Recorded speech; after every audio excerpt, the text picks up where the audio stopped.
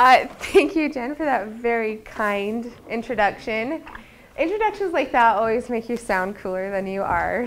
So um, I'm really excited to be here, a little nervous as well, but I'm really happy to see um, some familiar faces, see some students that I've had before, and hopefully maybe future students in my classes. Uh, so there are a few things I want to, to touch on today and talk to you guys about. I know you need your five points, so I'll tell you what those are up front. So the five different things that I'm going to talk to you about uh, that have helped me and lent towards uh, the successes that I have um, come across are one, we're going to talk about personal finances. Okay. Two, we're going to talk about allowing life to show you your path.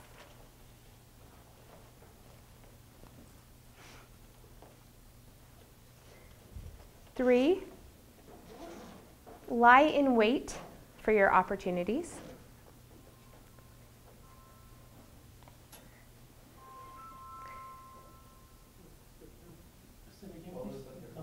Oh, lie in wait for your opportunities. So be ready for opportunities, basically. Okay. Four. You guys ready for four? Okay. Figure things out.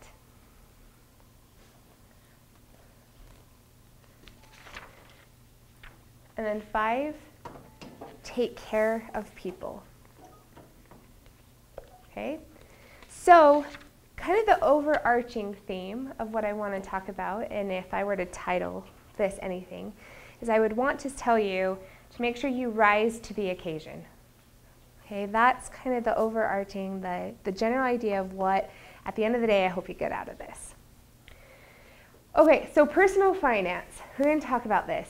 Um, I grew up actually not far from here uh, in West Jordan, went to West Jordan High School, go Jags, you know, and uh, didn't have a ton of money, just grew up pretty, pretty normal family.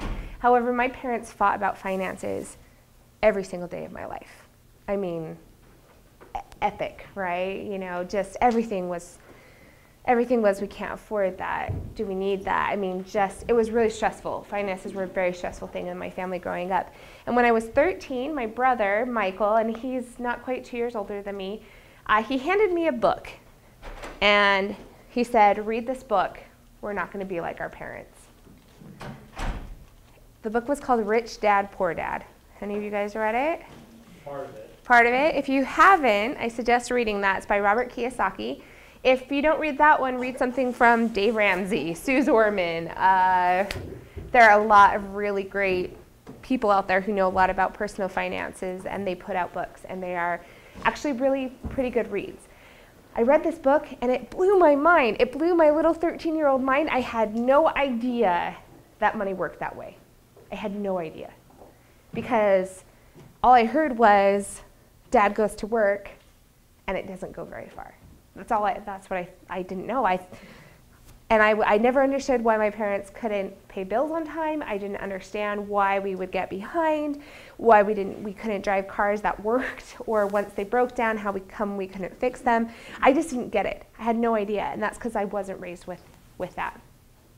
So I had to learn from scratch, and I started reading.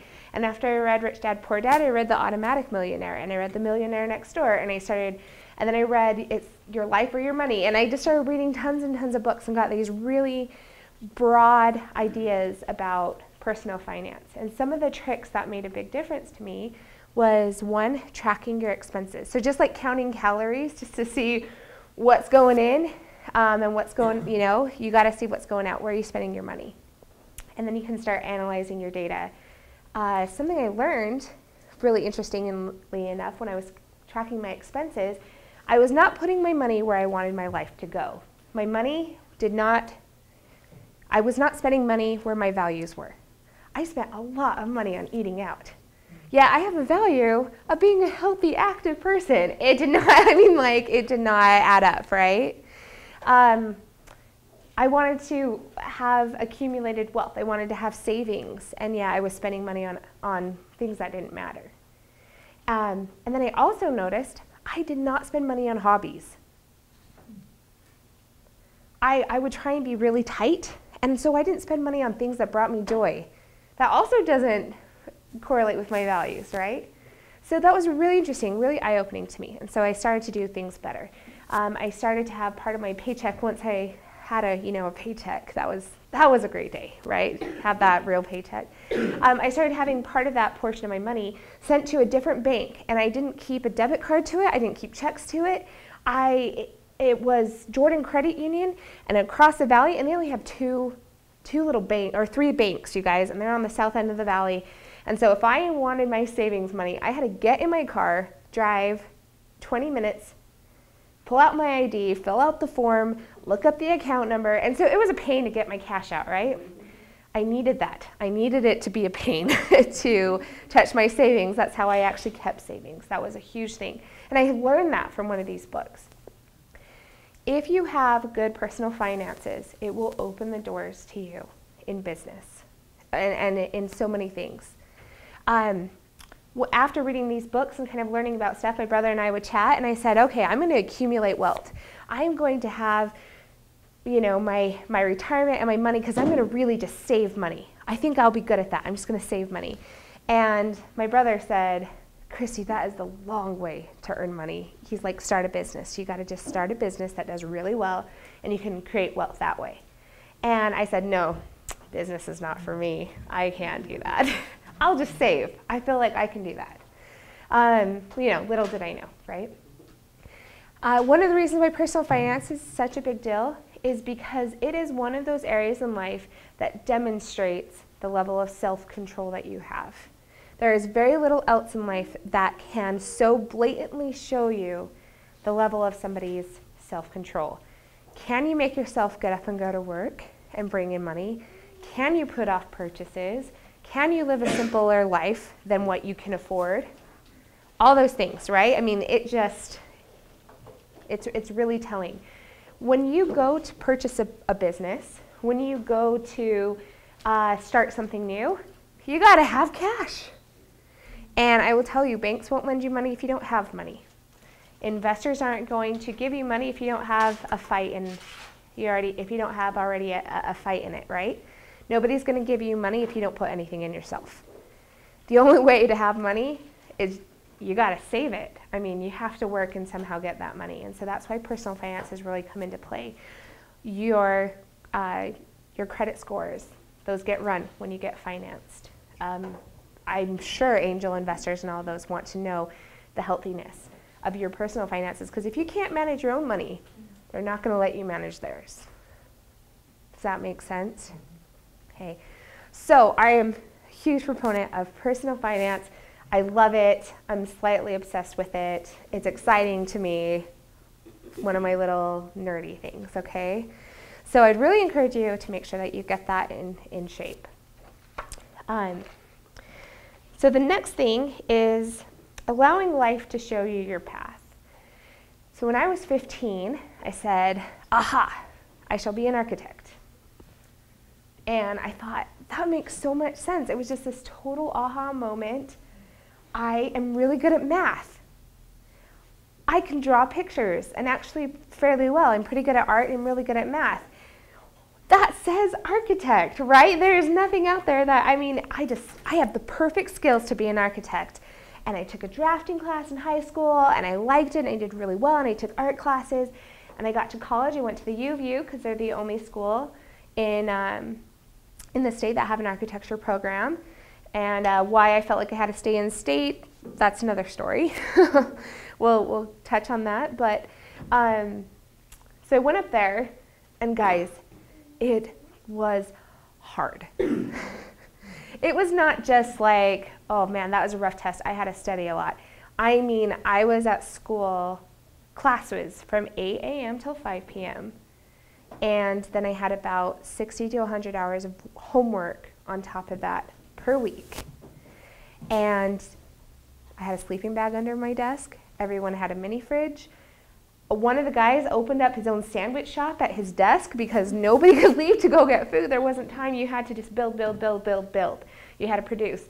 And then you produce something and you're like, this is beautiful. And they say, that's crap. And they throw it in the garbage. And it was emotional abuse and it was rough. It was so hard for me. It was one of the hardest things that I've ever voluntarily put myself through. And it was the right thing to do for me. To this day, I still don't quite know why it was the right thing for me. And that really sucks. But I hope one day it will manifest itself. uh, I do know it gave me an interesting sense of work ethic. I was, I've learned how to produce an enormous amount of work in a very short period of time. And that's actually helped me a ton in, in the business world. It's also made me think very creatively, creatively. So the funny thing is, here I was, and I'd go to my classes, and I would rock the art classes, and I would rock the physics classes, in fact, top of my class when it came to the physics classes. And then come to the design classes, I was just mediocre. I just came up with buildings that were, they were good, they weren't amazing. And I'm not okay with that. I'm not okay with being okay. I gotta be awesome. If I'm gonna really do something, I want it to be the best. That's just kind of a part of who I am. Um, so I finished the bachelor's degree and said, I'm to hold off on that master's till I really know I want to be an architect. So I went and worked in land development and did really well in some aspects of it and then found other pieces really difficult. And I said, this isn't quite the perfect path. I don't know what to do. I don't know what to do. All of a sudden, it just kind of came to me purchase this company. And I said, what the heck? I don't know anything about business. I don't know how to run a company. But I worked there. I knew enough about it. Um, and I knew that I could, I had good personal finances, so I knew I could probably run these simple finances and I could hire an accountant for all the tax stuff I didn't know, right? So I called my brother. He's been my partner in crime since we were uh, Madeline's age. This is my little girl, Madeline. Um, she's the senior associate in her home. Junior associate, Sophia, she, she needed a nap, so. Uh, so Michael's been my partner in crime since we were teeny tiny, and we ran a little snack shack uh, on our front lawn lemonade stand. And I'm not gonna lie, we made like 50 bucks a summer. That's pretty good. for the 80s, the 90s, guys, the 90s. Okay. Um, so I call him up. He's in law school in San Diego, and I said, "Want to buy a business? Want to buy that water store we worked at in high school?" And he said, "Yeah, let's do it." Okay. So I didn't know how. Went and figured it out figured out financing and just bought it and just started running this company. And it was an incredible experience. Learned a lot. Probably learned more from that than my actual MBA. Probably should do it the other way around. Like you should probably get the degree, learn the information, and then buy a company. Uh, but the great thing about this company is it was such a stable company with a certain amount of clientele coming in that there wasn't a lot we could do to ruin it. And that was really exciting to know that it was a, a really safe investment and then we could kind of play with it and, and take our own take on things. And we you know, added all this electronic stuff and, and try to make it a little snazzier and upgraded all the, the graphics and stuff. So uh, the logos. So we had a really good time and we learned a lot, a ton, a ton, learned so much. Um, this was never where I thought my life was going to be. I thought I was going to design libraries and homes and, and things like that. Um, but life took a different course. And you know what? That's okay because at the end of the day, it brought me here. Because after working in land development and starting my business, it kept coming back to me that I like education and I feel really comfortable in the world of academia and I like teaching and I'm really good at explaining concepts to people. And that's like, you know, that's not really a skill. When people ask you, what are your talents? You're like, oh, I play the piano and I explain things well. I mean, no, you don't say that. You don't, you don't say that. And so it took me a long time to realize that that was a talent that I had. Um, and then once I kind of realized that, I was like, you know, I really want to be a professor. So I started getting into higher education and moved my way through administration. And then eventually got this incredible opportunity to be here, which I love Salt Lake Community College. This is by far, I would say, one of, one of the highest blessings that um, has come to me. So I'm really grateful to be here. I love it. Um, it's not at all what I expected. But life has brought me here and has brought me to a much happier path than I would have been if I was drafting or uh, designing houses. I don't. I truly don't think I'd be as happy as I am here. Um, The other thing you need to do is you need to lie in wait for your opportunities. And what I kind of mean by that is imagine a lion, right? They're strong, they're powerful, they're equipped with these raw, innate instincts and skills. And they wait for that gazelle or, or whatever lions eat, and they wait for it to come, and then they pounce. And they can go quickly and they can move quickly. And they can get what they want right away. But they lie in wait. And so, what I want to uh, communicate with that, with you guys, is that it's really important to be prepared so that when an opportunity comes past you, you can move with lightning speed. That's the way business works now. You cannot say, I'm going to wait till another opportunity comes along. Or, you know, I saw that idea, because let's be honest, you thought of it in three months. If you don't jump on it, somebody else will think of it, right? It's just things move so fast. And it's, uh, it's a little disconcerting because you kind of think, oh my gosh, am I going to be able to catch up and am I, am I going to be able to stay on top of this? But the truth is, if you are prepared, you will. And you will also, if you're prepared, you will see the perfect opportunity that comes to you. And you will say, How come nobody else saw this? And it's because they weren't in the right place at the right time with the right skills.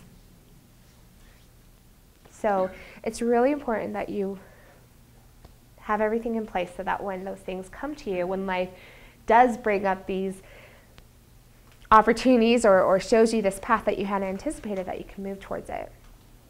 And then what you need to do is you need to be able to figure things out. Because sometimes things come at you that you weren't planning, right? I had this opportunity to buy this business that was absolutely right, but I didn't know how to do everything. So I had to figure it out. What are some of the best ways to figure things out? Go ahead and throw out ideas. Trial and error. Just do it. I love that. Just do it. Just just jump in and don't things kind of present themselves or kind of fall into place as you start doing it? You're like, oh, I see a solution, right?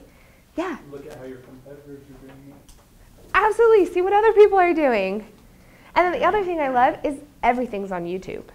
There's a video for everything, right? So you can just, I mean, there's so many resources, so many things to look up. Um, reading books. So if you don't know how to do something, learn how to figure things out, either through your own brain power, through you know your own sense of figuring things out and, and logicking logically through things that word i don't know. Like logicking through things or uh, talking to other people. Find a mentor. Find somebody who's been there. Find somebody who's done it before. And just figure it out. Be a capable person. Okay there is nothing more that bothers me more than when i say hey how come this isn't done? Oh, I didn't know how. Okay, well, did you try? I mean, did you call me to see how to do it? Did you look at the instruction manual? Did I mean, no, it, eh, that was just an excuse. That was a way for them to say, sweet, I don't have to do it. Because I don't know how. You're going to miss so many opportunities, not just for business and things out there, but for your own personal growth. I think the more that you dive in and try to do, the more you can do. And you expand upon that, and I mean, we are in nature limitless creatures. So uh, there's always something more to learn, something more to do, another talent to acquire. And I'm a really big fan of, of learning something new. I recently heard my old choir teacher play the piano, and I had forgotten how beautifully he played. And it made me think, huh, maybe it's time to go back for piano lessons. and that's actually something I'm really excited about doing now, is going and becoming a better piano player. Okay, let me make sure.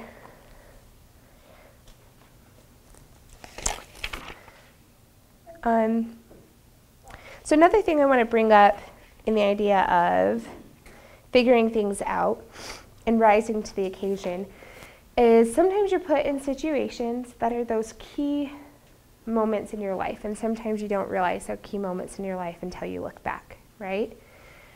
But whether or not you rose to the occasion is going to determine whether or not you move forward or you kind of digress. So there's what I, I consider there are three different kinds of people out there. There's the fight people, the flight, and the shrivel up and die people.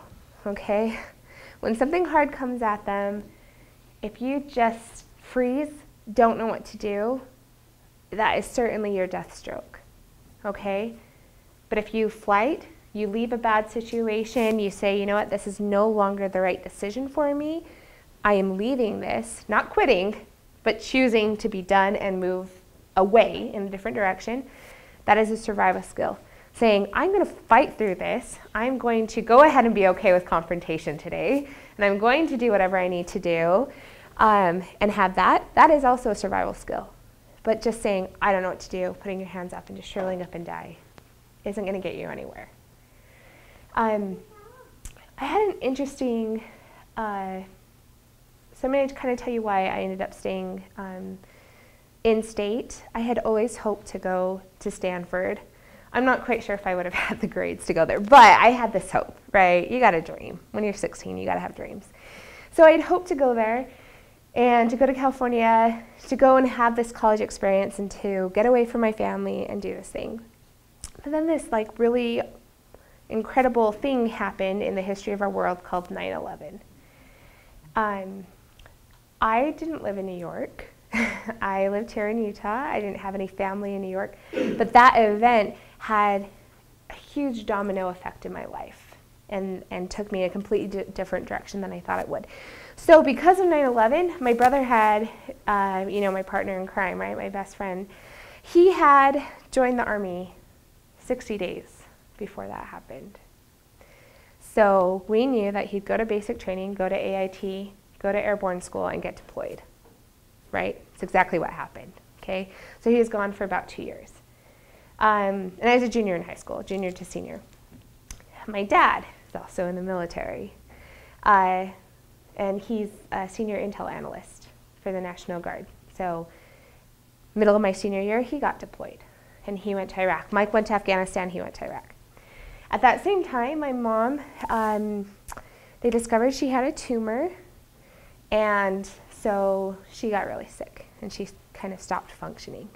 So that left me at 17 going to these meetings um, at the Utah National Guard headquarters over here in Draper, going to these meetings, and they were talking to me about insurance and wills. And my parents said, uh, they're LDS, they said, here's our temple clothes, here's our wills, here's the documents. You're 17, you need to know this stuff. Because chances are you're going to be an orphan this year. So that's happy senior year to me. Let's graduate, let's face life. Okay, that was what I was looking at. I had a 10 year old sister. She's eight years younger than me.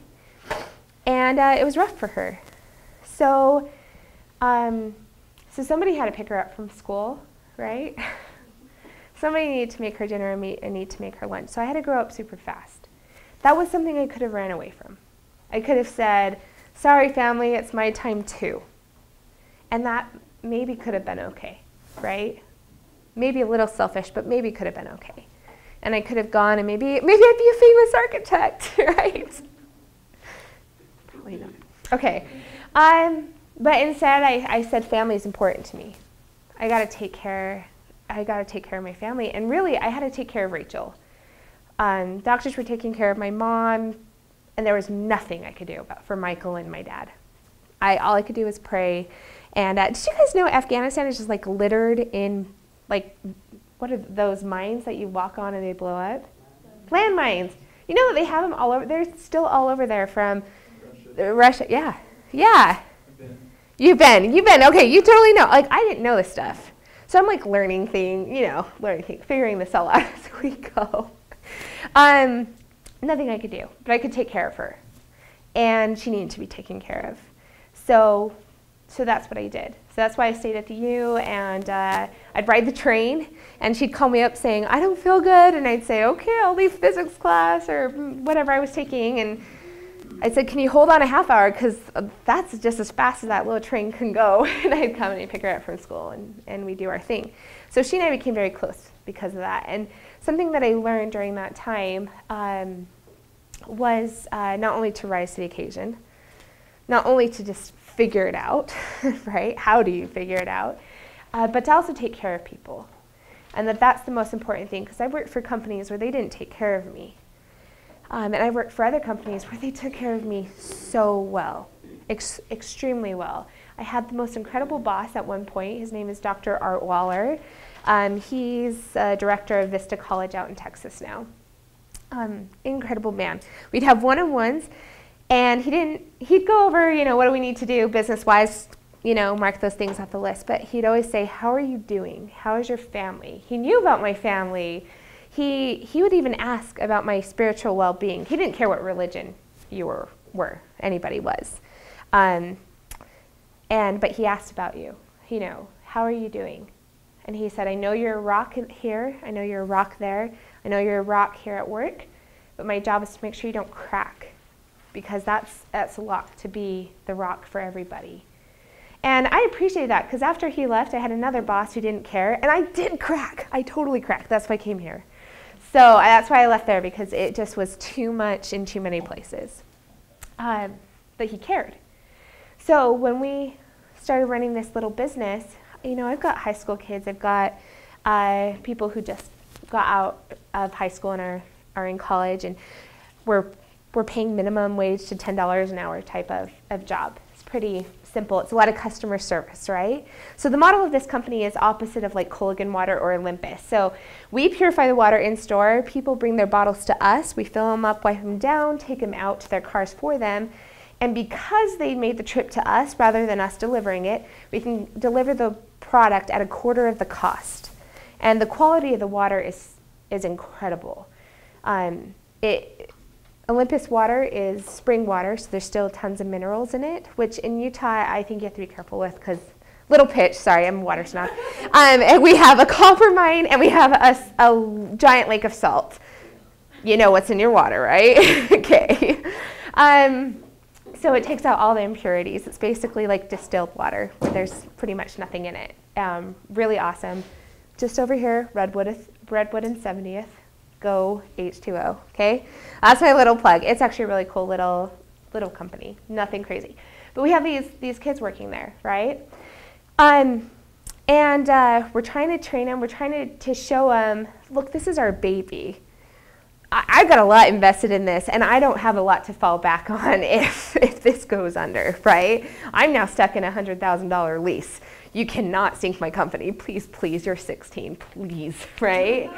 Um, so we started to take care of them, and we'd give them, uh, you know, every now and then I just said, hey, I just noticed you handled that customer so well. Um, here's just a $5 gift card to Cold Stone. And uh, it's five bucks, right? It went a long way. And we make sure that at that company, even though it's really small, we make sure that we have a summer barbecue and we make sure we have a Christmas thing for them. We have a Christmas party um, and we give them a Christmas bonus. And uh, their Christmas bonus was almost as good as ours here, actually. And, uh, and they, you know, we give them some chocolates and some cash and different things like that. And so we really try to take care of them. We, we know them. I know who their families are, know who uh, I know what they're doing in college. I know what their goals are. I know what they want to do. And I'm happy to help them get there. Because I, I told them all, you cannot work for us more than five years. I will fire you because you got to move on. You can't keep this job. You know, you got to move on. You got to increase your skills. So even though I'm happy, I would hire you in a heartbeat. And I've written le- recommendation letters for all of them. I've been their best reference in moving on to other jobs because I care about them and I want to see them progress and I want to see them do well. And there have been times where I've said, please, please don't leave us.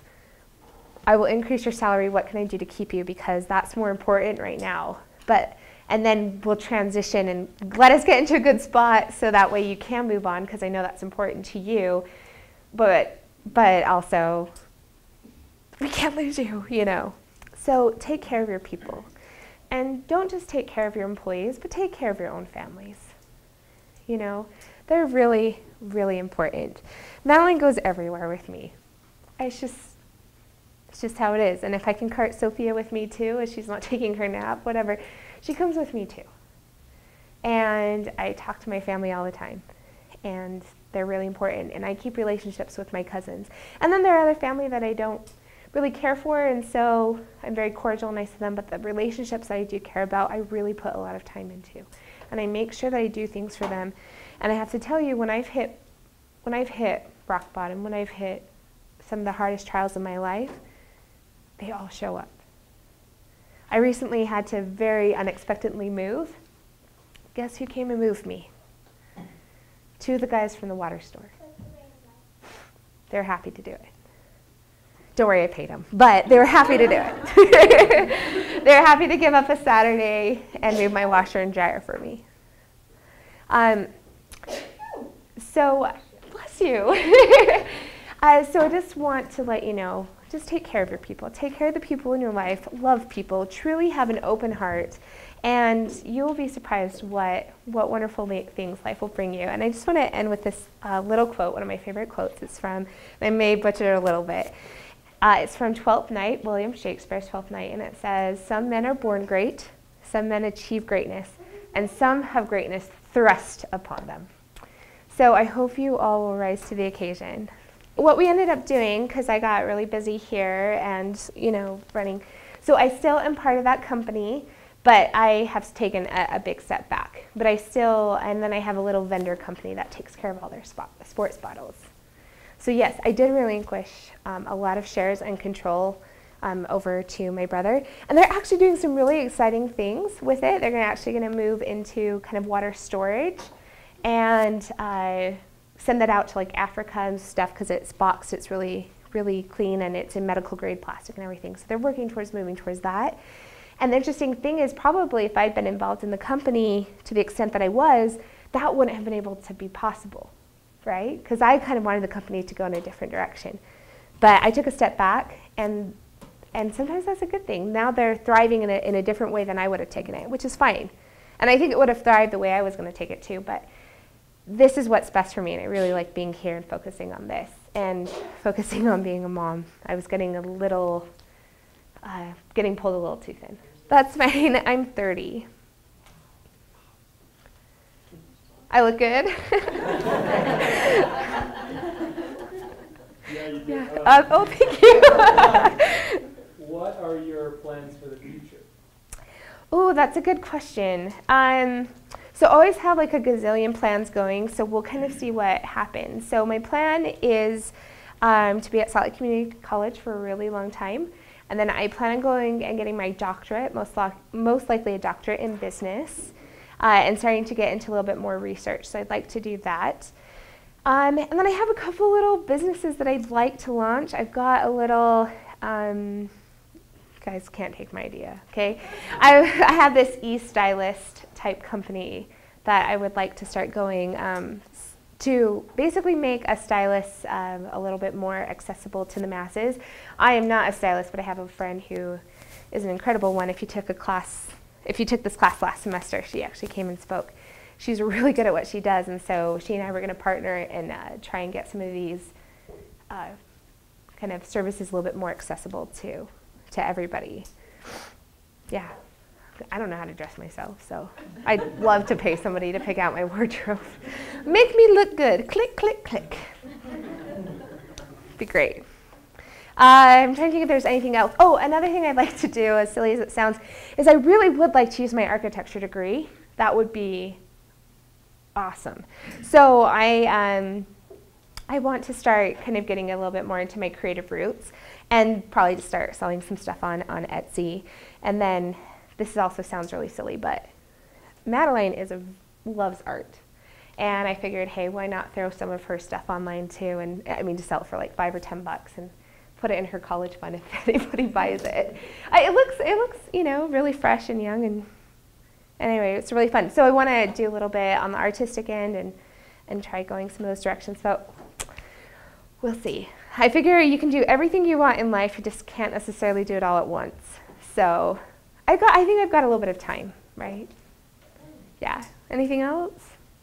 Yeah. If somebody's in the hole, when you were talking about personal finance, Mm-hmm. how do they dig themselves out and what's the fastest way to do it? Okay, so by far the best method to get out of debt is what's called the snowball method. This is a Dave Ramsey method, totally tried and true. So what you kind of do is you take, um, let's say you've got three debts, you take the one that you owe the least amount on. Um, some people will tell you to go off interest rates, but I'd highly suggest the least amount because what you want to do is gain momentum. So what you do is you have to find some extra cash somewhere. So you either cut back on your expenses or you go and work extra or sell blood. I mean, you gotta, you gotta, I mean, you can't make any, you can't make a lot of progress if you're not willing to make a little bit of sacrifice. So you figure out how to make some extra money, even if it's only 10 bucks, and you put that extra amount towards that payment. As soon as that thing is, and you make the minimum payments on the, on the rest, okay? Seriously, minimum payments. Don't add to the debt though, right? So I should back up and say the number one thing is don't add to your debt, get it to stay, right? Okay, so then once that's paid off, you keep that amount and you take that whole amount that you're paying towards that debt and you add it to the next one. So let's say you're paying 100, 150. So you then take that 50 and now you're paying 100 and 150. Does that make sense? And that'll get paid down a lot faster. And then as soon as that's paid off, you take that 150 and you add it here and you're paying 250 and that gets paid off really quickly. That is the best way to get out of debt. If you don't have debt or you have a couple debts that are, you know, like a house and a car, right? Just throw an extra 10 bucks at your payment. Don't make a minimum payment. And uh, it's incredible. You'll save yourself a lot of money in interest and time. And uh, yeah, so snowball method. You can look it up online too. Yeah. What um, you go to the Independence University versus like a four-year college? Yeah, that's okay. That's a great question. Um, I worked for them, and it was free. that that really that really is like the the main motivation. Um, I had thought about going um, to to doing. Uh, after I did that, I was going to go get a master's another master's degree at University of Wyoming. But when I started looking at it, um, I just had Madeline, and I said, "Well, it's free. I'll just take it, right?" And I started doing it, and I found I really liked it, and it was it was not as difficult.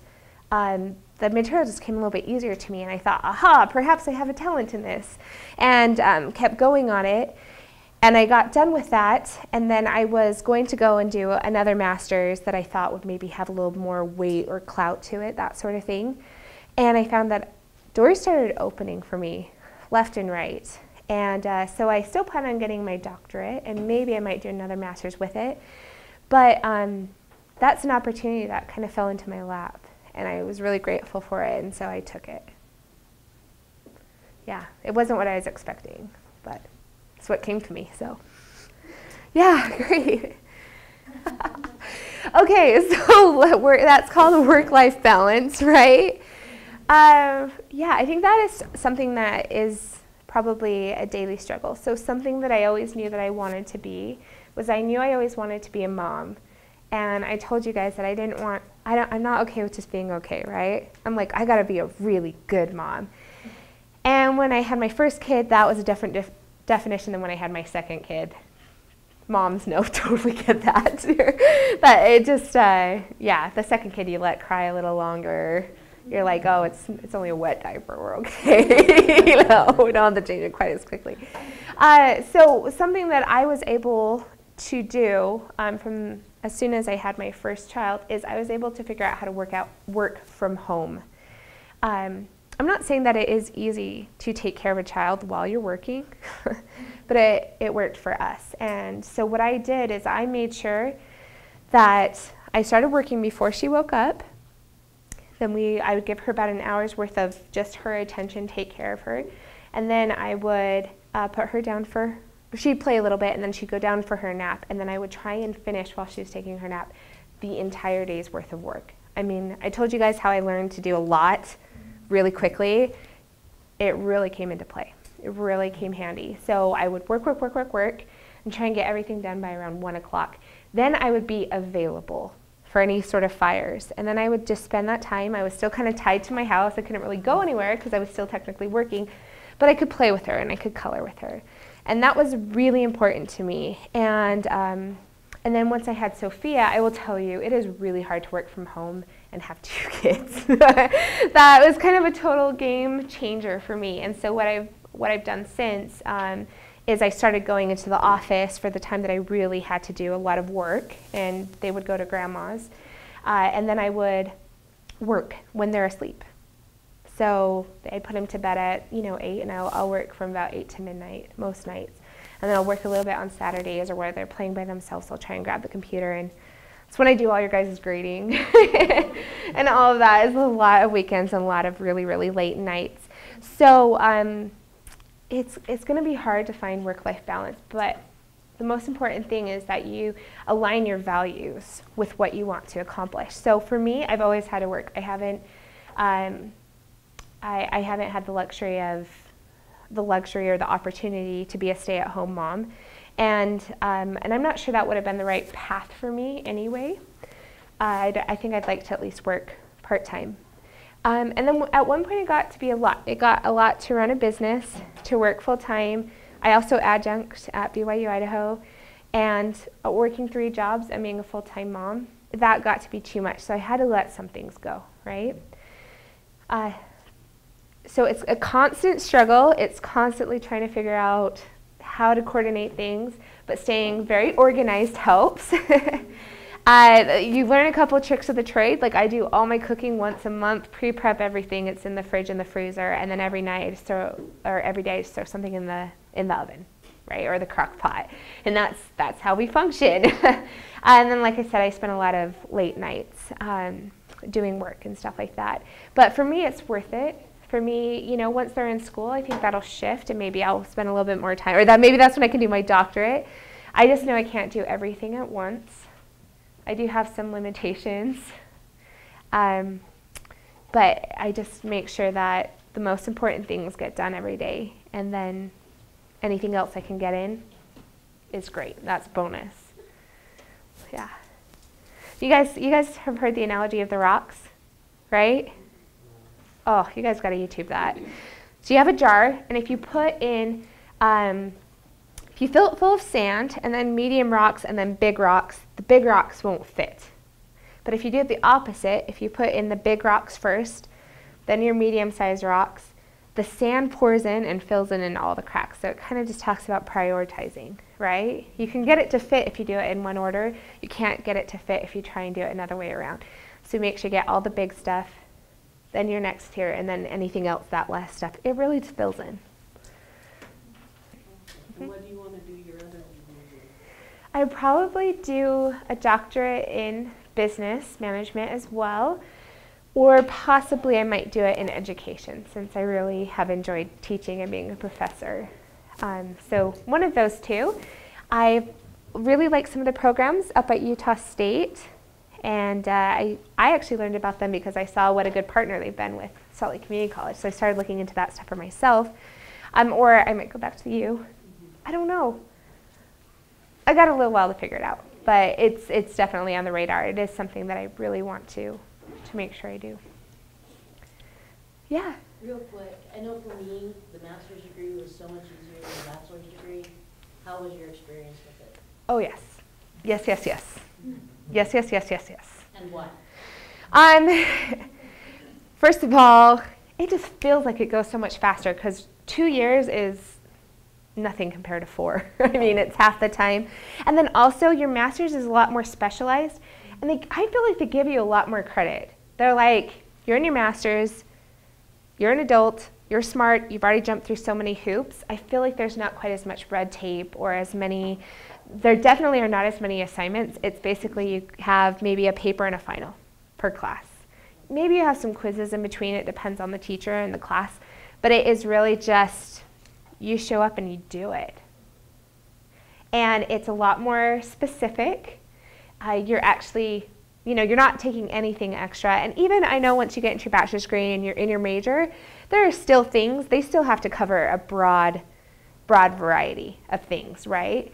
And so once you're in your master's, it is really specific. So an MBA is really specific to running a company and to managing people. Whereas there are other degrees that are more based upon the marketing or the finance end. Whereas when you're a little bit lower, you got to learn you got to learn it all and it is important to know it all but it's not all going to be your perfect niche it's not all your strength and so in your master's degree you're pretty much rocking every class. There's only going to be maybe one or two classes like the stats class or something that you're going to be nervous about. Other than that they all sound great. They're all your forte. And there's just nothing better in life than knowing that you're good at all of it you know? And it really does make it easier. So yeah, I, I really encourage my students to at least explore through a bachelor's degree. But like Jen said, the master's is is a lot easier and it's very enjoyable and they're very understanding that you're adults and so they work with schedules so much easier than the lower levels. They really, really do. So, well, thank you all so much for having me.